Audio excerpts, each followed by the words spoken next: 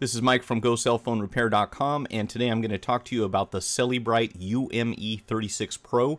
This is a data transfer machine that we use for older phones because thanks to newer technology like uh, iCloud, Gmail, uh, Windows Zune, and so forth, you can actually back up a lot of more uh, common phones or late model phones without the use of any third party anything pretty much. However, when it comes to older phones, and we do have a lot of customers that find old phones that they had and they want to move their pictures or their phone book or other multimedia from that old phone to a new one, you'll need a machine like this to do so.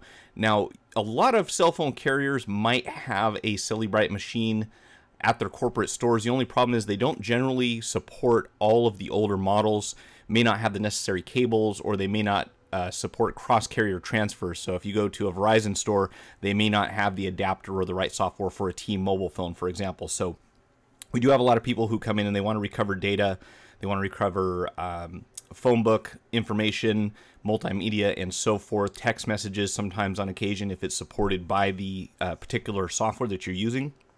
So this comes in really handy, and it comes in this nice big zippered case that has a bunch of cables on the inside, which you'll see coming up here shortly. And each one of these cables basically uh, is designed for a specific type of data port. So as you know, most newer phones will use a micro USB data port, but a lot of the older phones have their own port, and there are literally about 50 or 60 different types of ports that phones can have. So if you're working with something older like that, you'll want to have a machine that supports them and also the correct data cable for it. Now, these used to be a huge investment, but they have dropped in price dramatically because as of October 10th, the Cellebrite company will not be supporting updates, which doesn't really matter because you won't be using this on newer phones anyway. So as long as it's updated between now and then, the license is valid, you can continue to use it for uh, a lot of most of the older phones that were ever made. What I'm going to do is transfer data from a Motorola V3 over to a BlackBerry Curve 2 and just to demonstrate the process. If you take a look here inside of the phone book,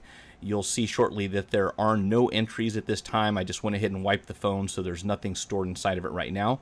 And I'm going to take uh, three phone book entries that I entered onto this V3 purposely just for demonstration purposes, and we'll actually copy those onto the Curve 2. It does not actually delete them, and you can see here you also have the option of backing up to a target of a USB or even a micro SD card. But what we're going to do here is use the cable for each phone and transfer the data. And again, I should say copy because you're not going to delete anything from the source phone, but you will in many cases overwrite data for into the uh, new phone. So make sure that you back that up as well. What we'll do is we'll go onto the machine here and we'll select phone to phone transfer, and you can scroll down through a different through a number of different manufacturers. We'll find uh, Motorola, CDMA, GSM, IDEN. We're going to look for the CDMA version of the Motorola Razr V3M, which is the Verizon Razr, and we're just going to do phone book for now. We can also do phone content if we like, but I'm just going to make a very quick demonstration here. When we select the target vendor, we're looking for BlackBerry CDMA, and this is going to be the Curve 2. So you'll scroll scroll down until you find the selection on the menu for the phone that you're going to be transferring to, and uh, you can see it also gives you the option to back up SMS. In this case, we'll just do the phone book. And when we click next, it'll prompt us to connect the correct cable for the Motorola V3. It is cable number 80, which coincidentally is actually a V3 cable. So if you have a data cable with the USB connection, you can use your existing cable. But again, for most phones, you won't have that option. Most older phones, that is. And on the BlackBerry Curve 2, this is actually a micro USB cable otherwise known as a V8 V9. So again, you can use the USB cable if you have happen to have it, but if you have something off the wall like a Sony or Alcatel or anything else like that, you will have to have the appropriate cable. And there's the uncaught exception that we're so fond of seeing on Blackberries.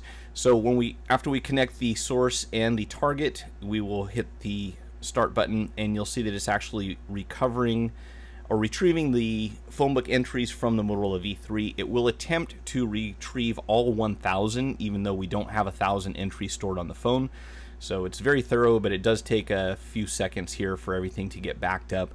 And once it creates that image file, it will prompt us to go ahead and continue the transfer process onto the new handset, or to the target handset, if you will and what we'll do here is make sure that everything is connected properly. In some cases it will also require additional steps in order to put the phone into a state where it can transfer data.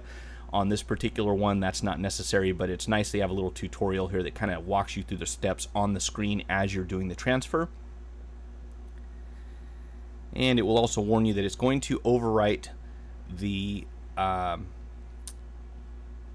actually on this one looks like it's not going to overwrite the content but again just to be safe make sure you back up your old stuff first and you can see that didn't take very long because we had a very small number of entries so it has already moved the data onto the target handset and if we go into the address book here we'll be able to confirm that we do have the same address book that we had stored on the Motorola V3 and that pretty much is the entire process. It will take longer if you're transferring multimedia files obviously but um, that's pretty much all you have to do.